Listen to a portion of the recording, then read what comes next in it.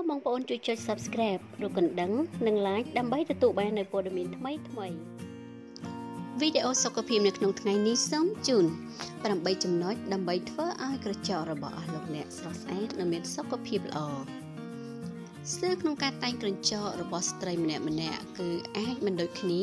អ្នកខ្លះចូលចិត្តក្រចកវែងអ្នកខ្លះទៀតក៏ចូលចិត្តក្រចកខ្លីព្រោះវាងាយស្រួលថែទាំប៉ុន្តែទោះបីជាអ្នកចូលចិត្តបែបណាក៏ដោយវាគឺជារឿងដ៏សំខាន់ដែលធ្វើឲ្យកញ្ចក់របស់អ្នកមានសោភ័ណភាពនោះពុំស្ថិតទៅលើការវែងឬក៏ខ្លីនោះទេ ក្រចកដែលវែងពេកឬក៏ខ្លីពេកក៏មិនស្អាតដែរតែក្រចកដែលវែងល្មមមានភាពភ្លឺថ្លា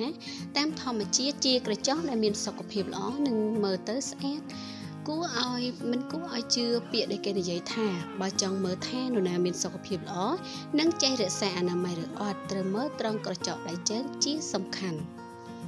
អាចកំបាំង8ចំណុចដើម្បីឲ្យក្រចកស្អាតនោះគឺ ទី1កាត់និងច្រឹបស្បែកបរិវេណក្រចកឲ្យបានរៀបរយទី2ទុកឲ្យក្រចកសម្រាប់2ទៅ5នាទីទើបលាងក្រចកនិងត្រាំនៅក្នុងទឹកក្តៅអ៊ុនៗផ្សំជាមួយនឹងទឹកសាប៊ូយ៉ាងតិច2នាទី បន្ទាប់មកប្រើច្រាសខាត់ក្រចកនិងសម្អាតវត្ថុកខ្វក់ក្នុងក្រចកនិងសម្អាតស្បែកកោសិកាដែលខូចទី3គឺប្រើឈើរំសំឡីជ្រលក់លេឬក៏ផ្លិប្រេងលាបត្រង់បរិវេណស្បែកជុំវិញក្រចកដែលមានសភាពចាប់ ទី4ប្រើក្រដាសខាត់ខាត់ក្រចកឲ្យស្អាតទី5ជូតលេឬក៏ប្រេងចេញពីក្រចកដោយប្រើប្រាស់ទឹកថ្នាំលាងក្រចក